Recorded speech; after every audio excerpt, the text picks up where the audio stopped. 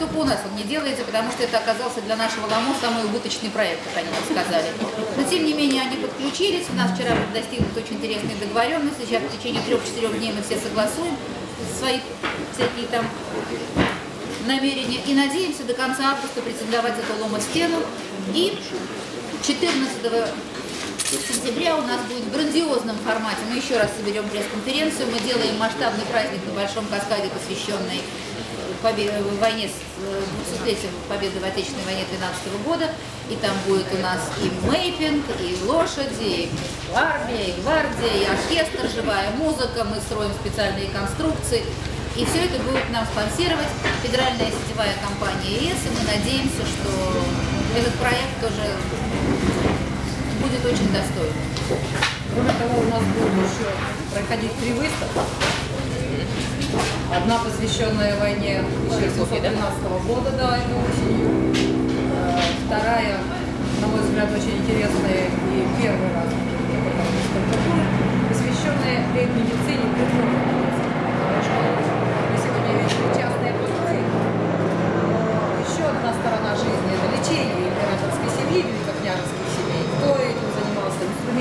Чем болели, как бальзамировали императора.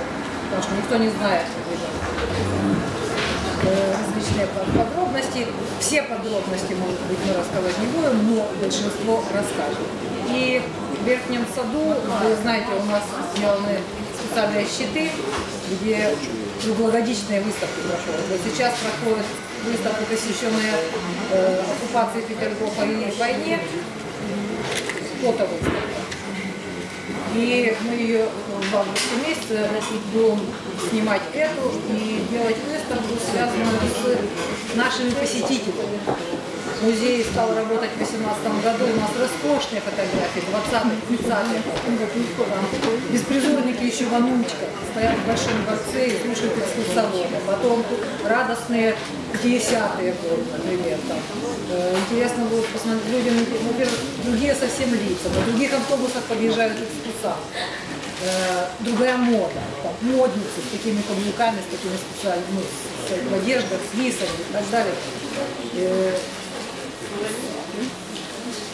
Фотографии 20-х, 30-х, 40-х, 50-х, 60-х годов. А в Раненбауме новое что-то еще будет до конца. Ну, в Оренбауме сейчас сколько нового. Уже чуть-чуть надо сделать немножко для Петергофа что-нибудь. ясно.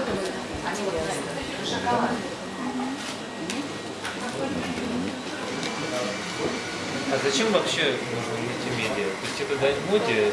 Сейчас э, все музеи бросились устанавливать мультимедийные экраны. И их интерфейс, он как бы полностью повторяет веб-интерфейс. То есть это то, что можно посмотреть в интернете. И люди приезжают э, в исторические интерьеры не для того, чтобы посмотреть на экраны. Вы на сто процентов правы. Вы, как молодой современный человек, говорите абсолютную истину.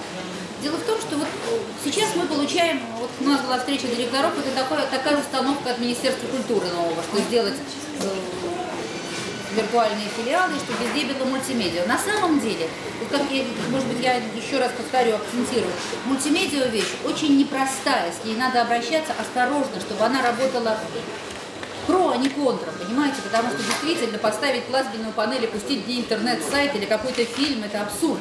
Надо делать специальную программу специальным контентом. И, как правило, получается, что не так много таких умов и голов, которые понимают, какой, как это сделать.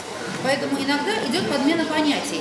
Ну, я считаю, что это болезнь роста. Это либо весь мир уже это пережил, очевидно, переживем и мы. И я смотрю, что из всех западных музеев потихоньку мультимедийные панели ушли. И как я сегодня рассказала, и хочу еще раз акцентировать. Вот Версаль сделал 10 залов мультимедийных, отдельных. Это не музейная экспозиция, это отдельная зона, где люди получают информацию и как бы готовятся к посещению Большого дворца. Они таким образом немножко разгрузили свой маршрут. То есть это установка Министерства культуры. Во всем не совсем установка, это рекомендации. Рекомендации. Ну, в общем, наверное, сказать, что это в меди времени будет справедливо. Скорее всего, все-таки современным Да, в принципе, мы вправе э, Ну, модернизация, да? Модернизация, инновация, давайте вот это будем Ну что, господа, я вас